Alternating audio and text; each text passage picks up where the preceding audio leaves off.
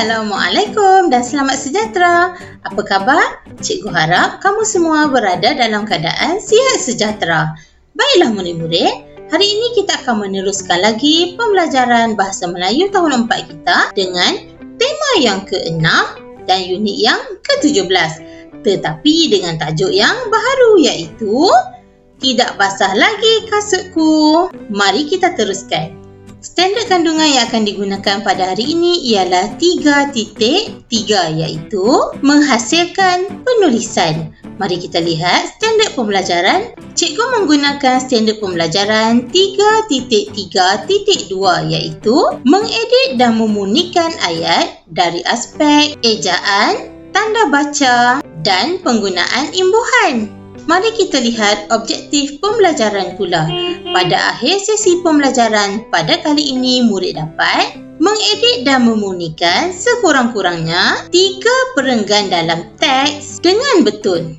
Mari kita lihat kriteria kejayaan pula. Kriteria kejayaan pula ialah murid berjaya mengedit dan memunikan teks dari aspek ejaan, tanda baca dan penggunaan imbuhan dengan betul. Kemahiran yang akan difokuskan pada hari ini ialah kemahiran menulis. Murid-murid bolehlah membuka buku teks Bahasa Melayu tahun 4 halaman 117. Tanpa membuang masa lagi, mari kita mulakan. Baiklah murid-murid, aktiviti kita yang pertama ialah aktiviti membaca dan memahami maklumat berdasarkan gambar dan juga petikan. Berikut merupakan gambar yang terdapat di dalam buku teks halaman 117. Tajuk petikan yang akan kita baca pada hari ini ialah Tidak basah lagi kasutku. Baiklah murid-murid, mari kita baca petikan ini bersama-sama. Zara dan ibunya ke kedai untuk membeli kasut sekolah yang baru. Mari kita teruskan pembacaan kita. Encik, kami sedang mencari kasut sekolah yang kalis air. Adakah encik menjualnya? Tanya Puan Zura. Puan Zura ni ialah ibu Zara. Ada kasut tersebut diperbuat daripada getah namun tidak selesa dipakai. Saya cadangkan puan dibeli kasut sekolah biasa yang diperbuat daripada kanvas. Macam ada yang pelik kan? Tak apa, kita teruskan pembacaan dahulu. Kasut tersebut lebih selesa dipakai, terang jurujuan. Memang selesa, encik, tetapi mudah basah apabila mengkena air hujan. Balas Puan Zura. Jika begitu, saya mengesyorkan Puan membeli penyembur kalis air ini. Penyembur ini dapat melindungi kasut daripada basah ketika hujan, kata jurujual. Baiklah murid-murid, mari kita teruskan lagi pembacaan kita. Wah, bagusnya penyembur ini. Bagaimanakah menggunakannya? tanya Zara. Kamu hanya perlu menggoncangkannya dan menyemburkannya pada kasut. Jarak semburan ialah 15 cm dari kasut. Biarkan selama 10 minit di bawah pancaran matahari. Bagi mendapatkan hasil yang lebih baik, kamu boleh menyemburkannya untuk lapisan kedua. Selepas itu, kamu boleh memakainya seperti biasa, jelas jurujual. Ada yang pelik? Ada kan? Nanti dulu. Baiklah, mari kita teruskan lagi pembacaan kita. Oh, begitu cara menggunakannya. Mudah saja. Saya berharap kasut saya bersih dan tidak basah lagi jika hari hujan, kata Zara. Baiklah murid-murid, demikianlah dialog di antara Puan Zura, Zara dan juga jurujual sewaktu Puan Zura dan Zara sedang melihat-lihat kasut di kedai tersebut. Kini kita sudah memasuki aktiviti yang kedua iaitu aktiviti mengedit dan memurnikan teks. Sewaktu kita membaca petikan sebentar tadi, ada perkataan-perkataan yang pelik telah ditemui kan? Betul tak? Baiklah, sebenarnya petikan tersebut ada mempunyai kesalahan dari aspek ejaan, tanda baca dan juga penggunaan imbuhan. Di manakah kesalahan-kesalahan tersebut? Mari kita cari dan kena pasti kesalahan-kesalahan tersebut bersama-sama. Mari kita mulakan dengan perenggan yang pertama. Encik, kami sedang mencari kasut sekolah yang kalis air. Adakah ayat ini mempunyai kesalahan? Tiada, ayat ini tidak mempunyai kesalahan. Adakah Encik menjualnya? Tanya Puan Zura. Ayat ini juga tidak mempunyai kesalahan dari aspek ejaan, tanda baca dan penggunaan imbuhan. Baiklah, kita masuk perenggan yang kedua. Ada, kasut tersebut diperbuat daripada getah. Agak-agaknya apakah yang perlu kita isikan di dalam kotak yang berwarna oranye tersebut?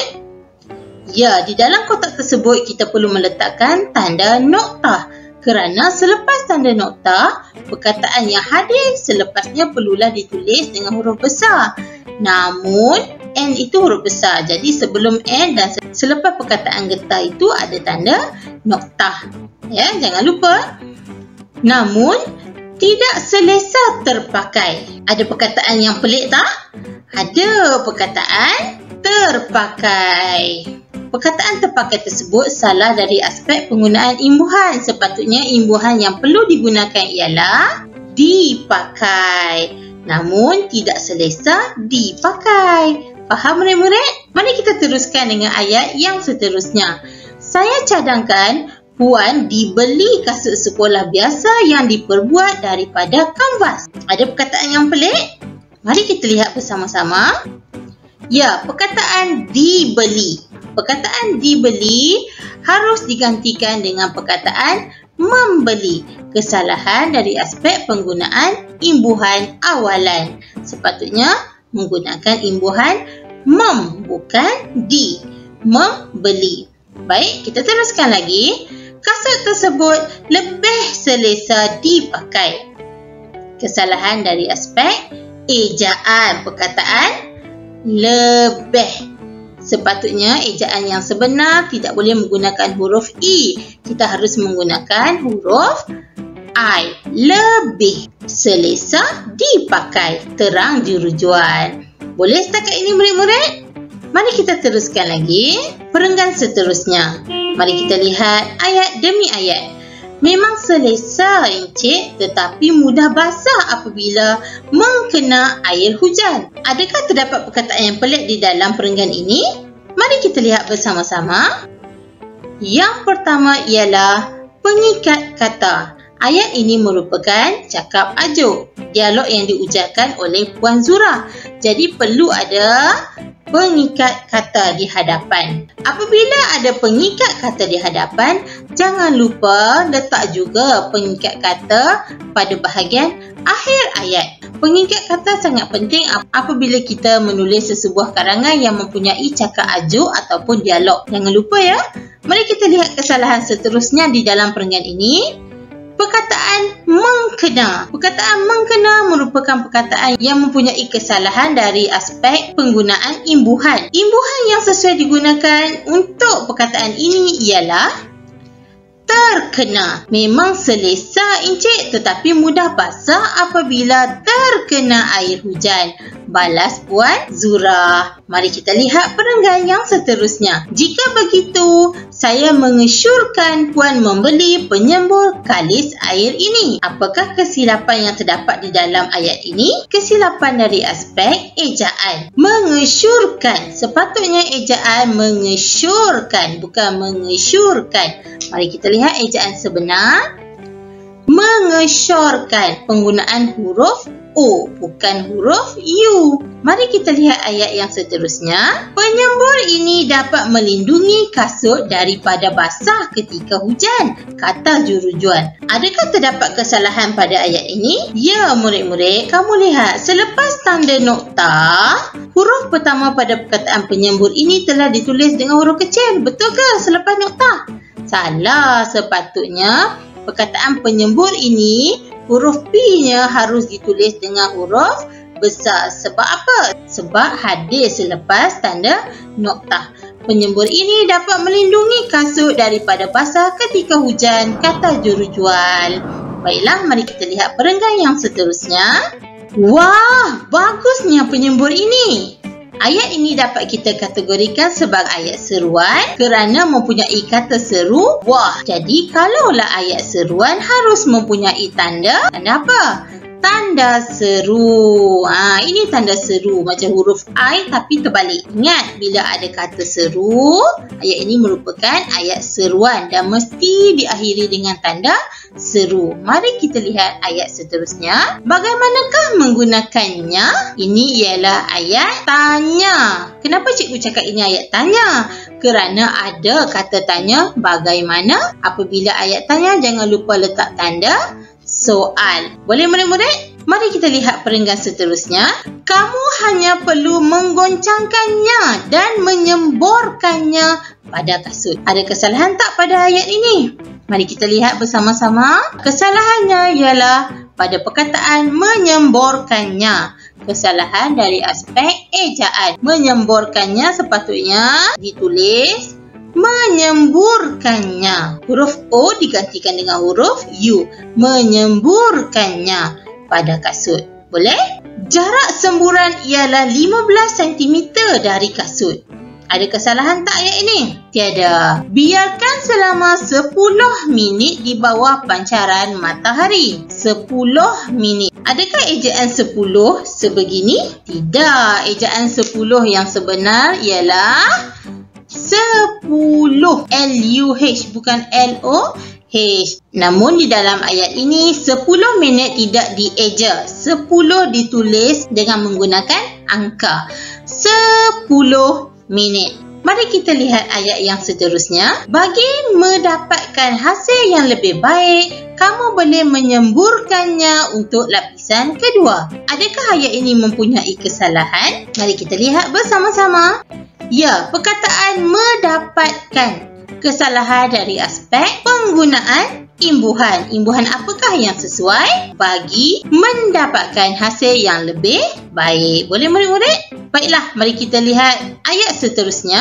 Selepas itu, kamu boleh memakainya seperti biasa. Jelas jurujual ada dua kesalahan di dalam ayat ini. Yang pertama ialah perkataan menmakai. Sepatutnya perkataan ini menggunakan imbuhan me bukan men. Memakainya. Mari kita teruskan. Selepas itu kamu boleh memakainya seperti biasa. Jelas jurujual. Tanda baca apakah yang perlu kita isi di dalam kotak berwarna oranye tersebut? tanda pengikat kata boleh kita sudah tiba di perenggan yang terakhir. Mari kita lihat adakah terdapat kesalahan penggunaan ejaan, tanda baca ataupun penggunaan imbuhan di dalam ayat perenggan yang terakhir ini. Mari kita lihat bersama-sama. Oh, begitu cara menggunakannya. Ayat seruan. Ada kata seru, ada tanda seru. Jadi ayat ini betul lah tiada kesalahan. Mudah sahaja. Saya berharap kasut saya bersih dan tidak basah lagi jika hari hujan, kata Zara. Jadi ada tak kesalahan di dalam ayat ini? Ada. Ada satu kesalahan iaitu perkataan bersih.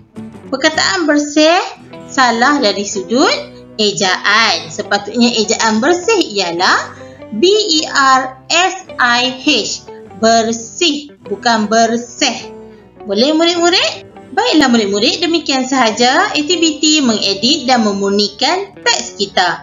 Ingat murid-murid, jangan buat kesilapan dari sudut ejaan, tanda baca maupun penggunaan imbuhan yang salah kerana ianya boleh menyebabkan maka penulisan karangan kita dipotong. Ingat pesan cikgu, berhati-hati sewaktu menulis.